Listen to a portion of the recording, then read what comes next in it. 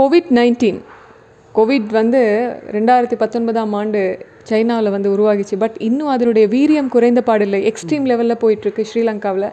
அதுவும் பொதுவாக பார்த்தீங்கன்னா இந்த ஜனாசா எரிப்பு அப்படின்னு வரும்பொழுது அது பெரிய ஒரு சப்ஜெக்ட் அதை பற்றி நீங்கள் நிறைய இன்டர்வியூவில் கூட பேசியிருந்தீங்க.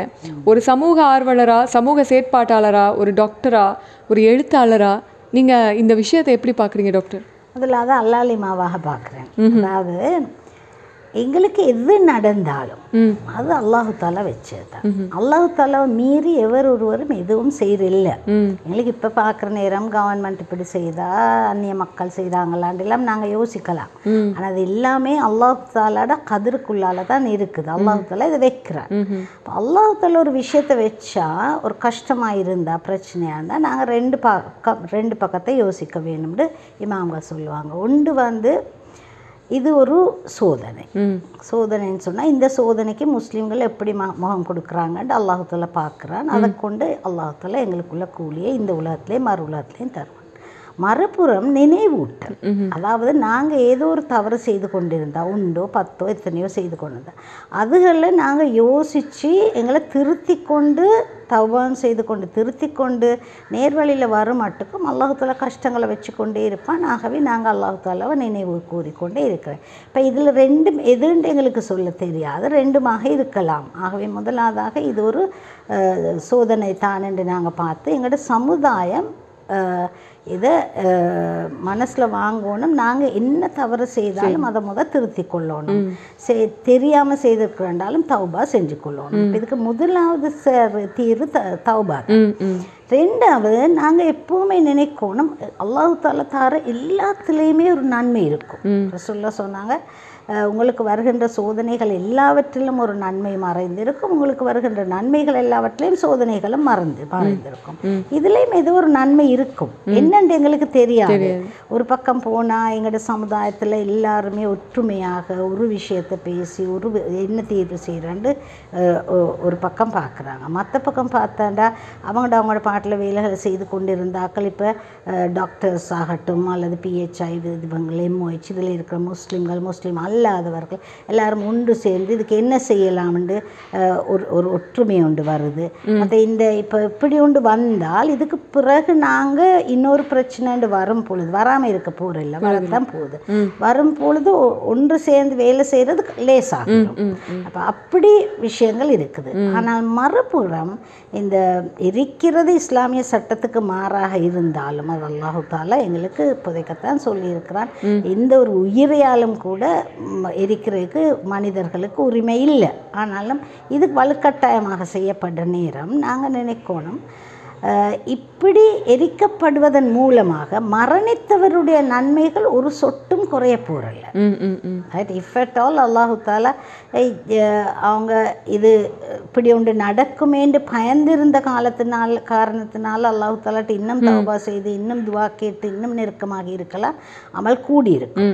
அதே மாதிரி எ- ஒரு- எங்கட குடும்பத்தில் யாரையால் முத்தரை எரித்தாங்கன்னு சொல்றதுக்காக உறவினர்களுக்கு எந்த பாவமும் எழுதப்படுறல் என்றால் இது கட்டாயமாக செய்யப்படுற வலுக்கட்டாயமாக பலவந்தமாக செய்கிற விஷயம் அது பிரச்சனை இல்லை.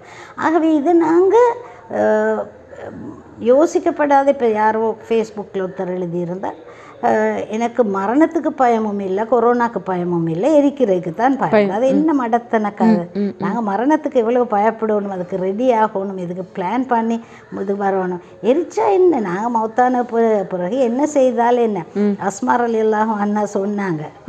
அவங்களோட மகன் ஜுப் இப்னு ஜுபைர் யுத்தத்துக்கு போகிற நேரம் அவர் கொஞ்சம் யோசிச்சார் அந்த கவசம் அணிஞ்சு கொண்டு போக போனார். அப்போ இது என்னத்துக்கு மகனே கவசம் அணிஞ்சு கொண்டு போகிறீங்க இப்படியும் நீங்கள் உங்களை நீங்கள் மௌத்தாகத்தானே போகிற ஜிஹாதில் தானே? இல்லைம்மா நான் மௌத்தானதுக்கு அப்புறம் என்ன துண்டு துண்டாக வெட்டுவாங்களான்னு சொன்னேன். அப்போ அவர் சொன்ன ஒரு ஆட்டை உரிச்சிட்டு அறுத்தா என்ன? அறுத்துட்டு உரிச்சா என்ன?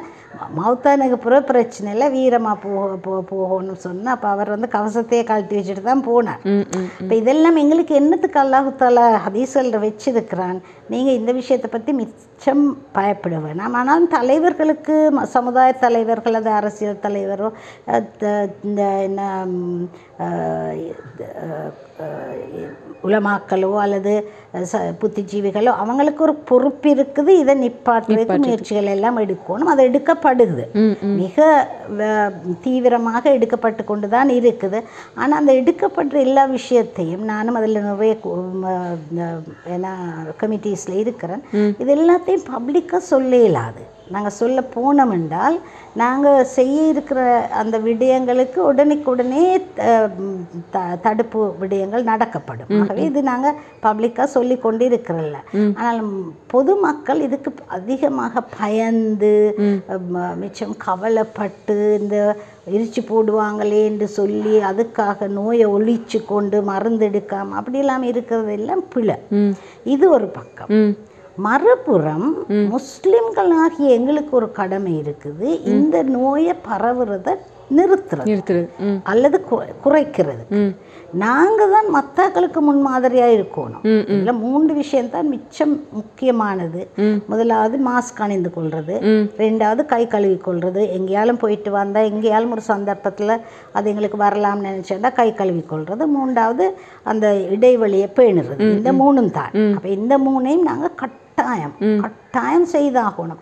நாங்கள் செய்யாவிட்டால் அதால் எங்கட குடும்பத்துக்கோ வேற யாருக்கோ அதால் இன்ஃபெக்ஷன் என்ன வந்தால் அதுக்கும் மறுமையில் அல்லாஹு தாலாட்ட நாங்கள் பதில் சொல்லணும். இது முஸ்லீம் சமுதாயத்துக்கு இன்னுமுமே ஹண்ட்ரட் பர்சன்ட் புரியல. ஆனால் சில இடங்கள்ல இதை பற்றி அதிகமாக பேசுகிற இடங்கள் இப்போ அக்குரணையில எல்லாம் நிறைய பேருக்கு இது விளங்கி அங்கே தீவிரமாக அந்த மக்களுக்கு அறிவை மூட்டி அதே நேரம் பாதுகாப்பான விடயங்களுக்கு என்ன செய்யணும்னு சொல்கிற வழிமுறைகளையும் செய்து கொண்டு வரனால அங்கே நல்ல ஒரு முறை நடந்து கொண்டு போகுது.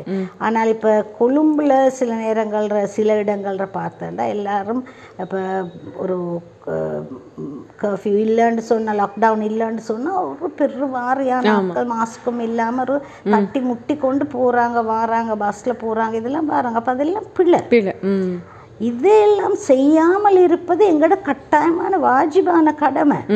சுண்ணத்தான கடமை அல்ல. வாஜிபான கடமை ஏனண்டா இது? மனிதர்களை கொல்லக்கூடியது.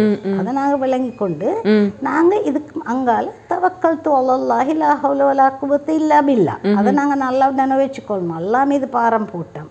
அல்லாஹு தாலா எல்லாவற்றையும் அதிக விஞ்சிய சத் சக்தி உடையவன் அவன் பார்த்து கொள்வான் சொல்ற அந்த நம்பிக்கையோட நாங்கள் எங்களோட வாழ்க்கையை நடத்தி கொண்டு போக பார்க்கணும்.